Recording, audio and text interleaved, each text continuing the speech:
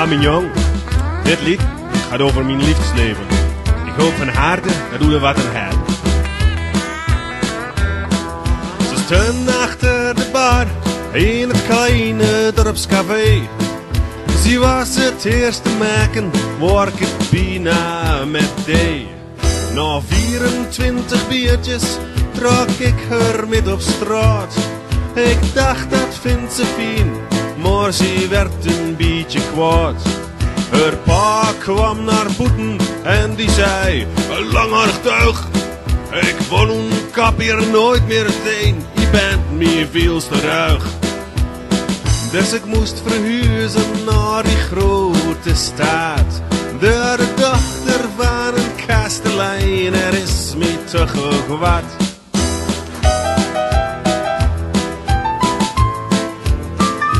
De heren hebben vreemde kost gaan.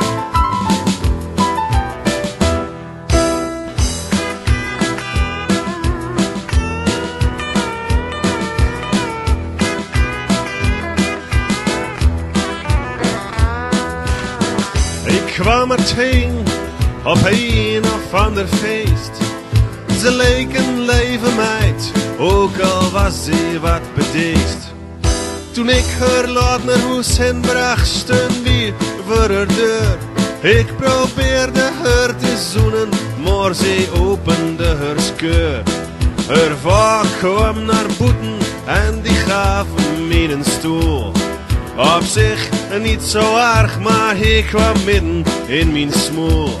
Ik rende voor mijn leven en telkens dacht ik weer. Ook de dochter van een timmerman, dat heugt voor mij niet meer. Het is me toch wat, hè? Oh, je naar de stad verhuisd.